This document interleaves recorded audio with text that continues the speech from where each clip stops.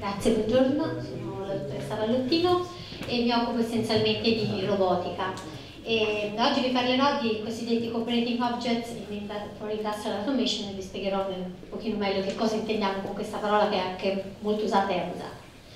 E robotica ovviamente la classica applicazione industriale la classica applicazione industriale sono i manipolatori, facciamo anche questo tipo di cose, ora mi scuso perché sono un utente Mac e i video non vanno, però essendo robotici noi facciamo cose che si muovono, volevo farvi vedere così e invece dovete credere sulla fiducia. Questi sono dei manipolatori che abbiamo sviluppato e questo è quello che classicamente si intende come eh, robotica industriale. E sviluppiamo anche prototipi di mani e comunque dispositivi per la manipolazione fine, ma eh, la keyword che vi presento oggi è la, i cosiddetti operating objects. Che cosa sono per noi gli oggetti? In questo ambito per noi gli oggetti sono quindi dei veicoli autonomi, mobili, quindi dei robot che si muovono per esempio su ruote in un ambiente, in particolare applicati alla logistica eh, nell'industria. Questi sono gli oggetti cooperating perché ne pensiamo tanti in un'industria. E questi oggetti dovranno cooperare ovviamente con l'infrastruttura, quindi con sensori fissi, con l'infrastruttura di comunicazione e così via, ma dovranno anche cooperare tra di loro. Questo è l'esempio dei Kiva Systems che sono uh, di questi sistemi, questi robot molto piccoli che passano sotto eh, dei, dei carrelli, li sollevano e li spostano all'interno dell'azienda e questi sono stati attualmente comprati da Amazon per dire anche l'applicabilità di questo tipo di sistemi. Amazon attualmente nei propri magazzini utilizza sistemi di questo tipo. Perché abbiamo bisogno che cooperino? Vabbè, è abbastanza intuitivo. Se non cooperano la situazione può essere spiacevole o addirittura disastrosa. E questo è giusto per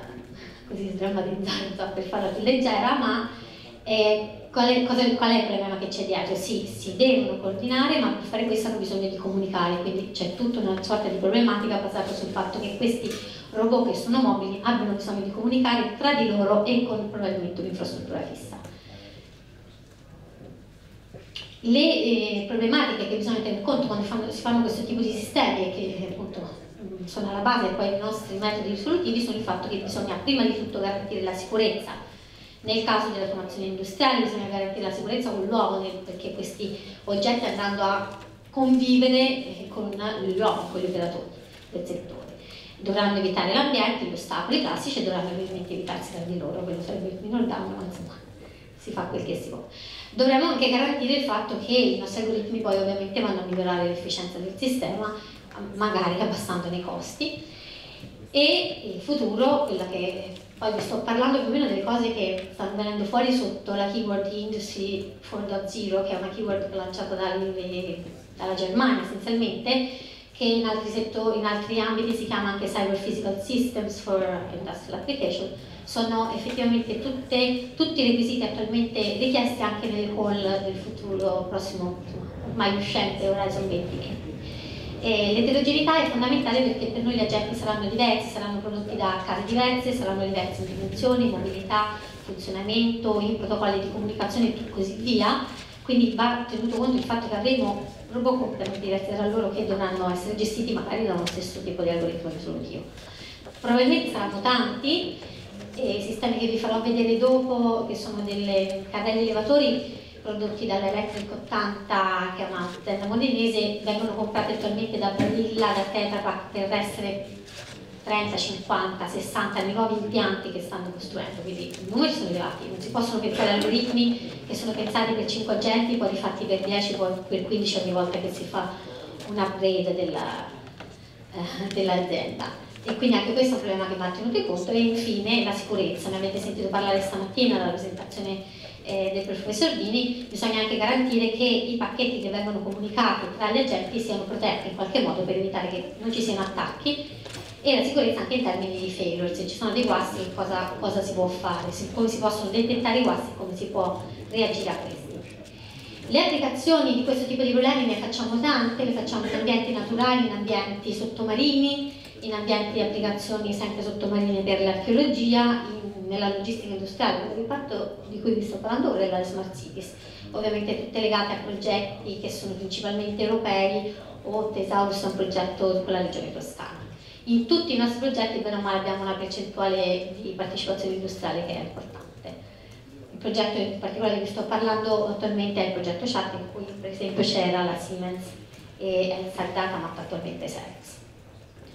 E qui purtroppo c'è un video che non partirà, ma è quello che dimostra che noi abbiamo applicato questi algoritmi, eh, uno, uno degli algoritmi che abbiamo fatto su dei carrelli elevatori eh, che ci ha messo a disposizione Electric 80, eh, proprio per farli muovere in un ambiente, in questo caso strutturato, in modo da garantire che eh, non fosse necessario l'intervento dell'uomo in caso di problemi, per esempio un carrello elevatore si guastasse, attualmente la situazione è che eh, tutto si ferma e deve intervenire l'uomo. Nel nostro caso invece potevano riconfigurarsi e ripianificare le traiettorie eh, portando comunque a conclusione il,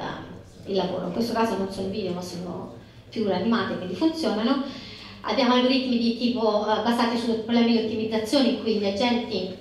possono deviare dalla traiettoria desiderata per poi riportarsi per in questo caso risolvere i conflitti, è un'applicazione del controllo del traffico aereo, oppure addirittura giocare sulla velocità. Insomma, questi sono esempi dei problemi che più o meno ci siamo trovati ad affrontare, oppure l'alternativa è quello di dare delle regole, un po' come eh, quelle del traffico, per cui sappiamo che se obbediamo le regole del traffico gli incidenti non ci sono. Se e allora applicare questa idea e generare dei protocolli basati su regole per i veicoli, anche in questo caso era sempre un'applicazione del controllo del traffico aereo per cui l'ambiente è sgombro da uh, muri, stanze e così via. E effettivamente qual è la potenza di questi metodi? Che gli agenti devono soltanto comunicare tra di loro e devono comunicare un pochissimo numero di informazioni, essenzialmente in questo caso era soltanto dove sono, non cosa stanno facendo, cosa andranno a fare o quant'altro, quindi molto molto snello sempre per garantire come idea la sicurezza del sistema.